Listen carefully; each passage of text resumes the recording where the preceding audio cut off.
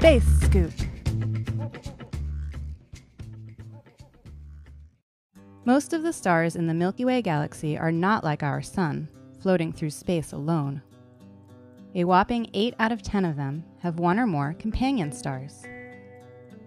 A pair of stars orbiting each other is called a binary system.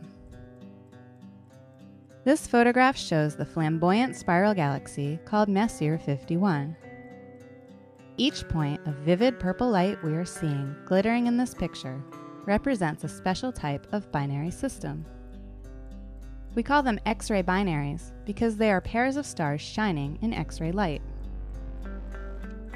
Each X-ray binary is made up of a normal star and a star which has passed beyond the end of its life. These companions are exotic things, most commonly a neutron star, but sometimes a black hole. If the stars are close enough together, the strong gravity of the exotic companion can drag gas off the normal star into a ring around itself before gobbling it up.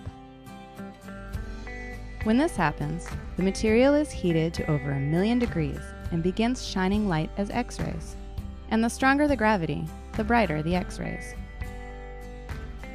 This picture of Messier 51 has revealed that at least 10 of the X ray binaries in the galaxy are bright enough that they probably contain black holes. In eight of these pairs, the black holes are pulling material away from gigantic companion stars that are much more massive than the Sun